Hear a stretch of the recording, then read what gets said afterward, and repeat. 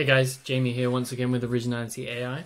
Originality AI was built for content publishers to help you guys distinguish between AI written content and human written content.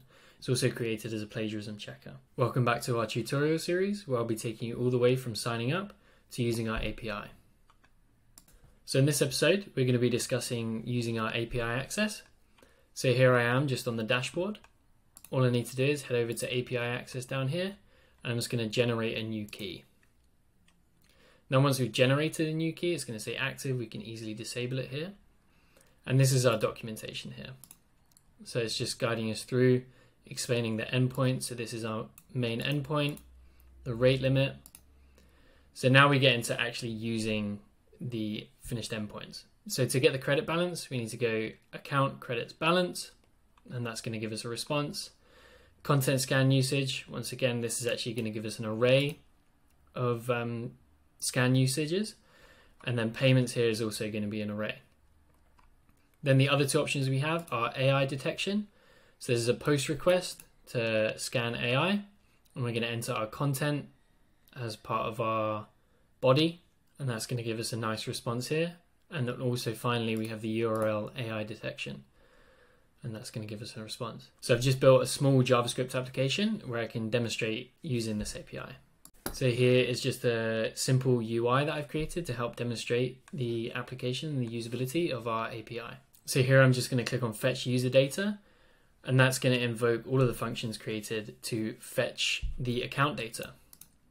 So if I click on it here, it's telling me my balance is 8,056 and I've just selected five of the credit usages. Up here we have our URL check. So if we click on that there, that's just going to tell us the URL and the overall score that it's giving us and the credits used. And finally, we just have the text here. And that's just going to give us the result of the entered text here. So let me show you guys what's going on behind the scenes. So as we're taking a look behind the scenes here, we can see that I'm just using the fetch method to make a request to our endpoint using the method of get and our, my API key, which is at the top here. Obviously, traditionally you'd have this in a .env file, but just for this example. As we scroll down, so we have the fetch balance, the fetch credit usage, all to the different endpoints here. And these are just GET requests. And then we move on to the handle AI check.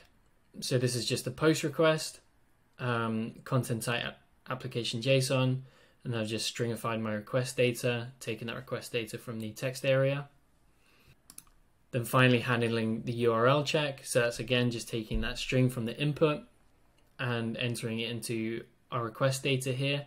So when we're making a request on the URL, we just want to make sure that our key is URL so that our API will understand exactly what you're looking for. And then the same with the handle AI check, it has to be content as your key. And finally, what I'll show you here is I actually logged everything to the console. So if I just reload this page, fetch user data, check the URL, and check content. Then we have a look at our dev tools. So the balance is going to return an object with just a single key. Same goes for the usage. That's going to be an array. So inside here, if we have a look at that, that's all of the response data. And I haven't made any payments, but traditionally the payments would be in here. And then if we take a look at the URL check, this is going to be the response here. So we have the credits, the credits used, the results. Um, we have the results of each of the pages that we're checking and the total AI results, the score and the score breakdown.